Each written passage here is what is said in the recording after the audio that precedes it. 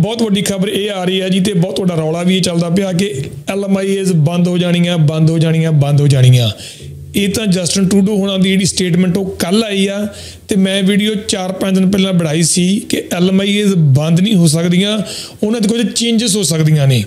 ਸੋ LMIA ਦੇ ਵਿੱਚ changes ਹੁਣ ਇਹ ਆ ਰਹੀਆਂ ਨੇ ਜੀ। ਮੈਂ ਪਹਿਲਾਂ ਵੀ ਕਿਹਾ ਸੀ ਕਿ ਪਹਿਲਾਂ ਤਾਂ ਜਿਹੜਾ ਮਰਜ਼ੀ ਬਿਜ਼ਨਸ ਕੋਈ ਸਾਲ ਪੁਰਾਣਾ, ਕੋਈ 2 ਸਾਲ ਪੁਰਾਣਾ, ਕੋਈ ਪ੍ਰੋਫਿਟ ਵਿੱਚ ਆ ਜਾਂ ਲਾਸ ਵਿੱਚ ਆ, ਕੋਈ ਫ਼ਰਕ ਨਹੀਂ ਪੈਂਦਾ। ਕੋਈ ਵੀ ਕੰਪਨੀ ਐਲਐਮਆਈਏ ਕਢਾ ਕੇ ਤੇ ਕਿਸੇ ਵੀ ਵਰਕਰ ਨੂੰ ਬਾਹਰੋਂ ਬੁਲਾ ਸਕਦੀ ਸੀ। ਪਰ ਹੁਣ ਇਹਨਾਂ ਨੇ ਕੈਪ ਇਹ ਲਗਾਉਣ ਲੱਗੇ ਆ ਕਿ ਜਿਹੜੀਆਂ ਐਲਐਮਆਈਜ਼ ਹੁੰਦੀਆਂ, ਤਿੰਨ ਤਰ੍ਹਾਂ ਦੀਆਂ ਹੁੰਦੀਆਂ ਨੇ। ਲੋ ਵੇਜ ਮੰਨ ਲਓ ਤੁਸੀਂ ਕੁੱਕ ਆਉਣਾ ਚਾਹੁੰਦੇ ਹੋ, ਉਹਦੀ ਲੋ ਵੇਜ 17 ਡਾਲਰ ਆ, ਪਰ ਮੀਡੀਅਮ ਵੇਜ ਉਹਦੀ 22 ਡਾਲਰ ਆ। ਸਰਕਾਰੀ ਰੇਟ ਸੈੱਟ ਕੀਤੇ ਹੋਏ ਆ ਤੇ ਉਹਦੀ ਹਾਈ ਵੇਜ 30 ਡਾਲਰ ਆ ਮੰਨ ਲਵੋ।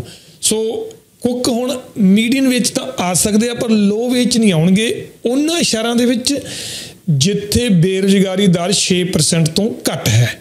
ਸੋ ਉਹ ਪੂਰੀ ਤਰ੍ਹਾਂ ਪੌਜ਼ ਨਹੀਂ ਲੱਗਾ। ਇਹ ਚ ਕੁਝ ਗਲਿਚਸ ਨੇ। ਸੋ ਤੁਹਾਨੂੰ ਇਹਦੇ ਬਾਰੇ ਕੋਈ ਹੋਰ ਡਿਟੇਲ ਚਾਹੀਦੀ ਆ, ਤਾਂ ਗੂਗਲ ਕਰ ਲੈਣਾ ਹੈ ਜੀ ਟੀਐਸ ਇਮੀਗ੍ਰੇਸ਼ਨ ਬ੍ਰੈਂਪਟਨ ਤੁਹਾਨੂੰ ਪੇਡ ਕੰਸਲਟੇਸ਼ਨ ਬੁੱਕ ਕਰਨੀ ਪੈਂਦੀ ਆ। ਤੇ ਜੇ ਤੁਹਾਨੂੰ ਕੋਈ ਪ੍ਰੋਪਰਲੀ ਡਿਟੇਲ ਚਾਹੀਦੀ ਹੈ, ਤਾਂ ਤੁਸੀਂ ਆਪਣਾ ਟਾਈਮ ਬਾਏ ਕਰ ਸਕਦੇ ਹੋ ਤੇ ਆਪਣੀ ਜਾਣਕਾਰੀ ਵਿੱਚ ਇਹਨਾਂ ਨੂੰ ਐਡ ਕਰ ਸਕਦੇ ਹੋ।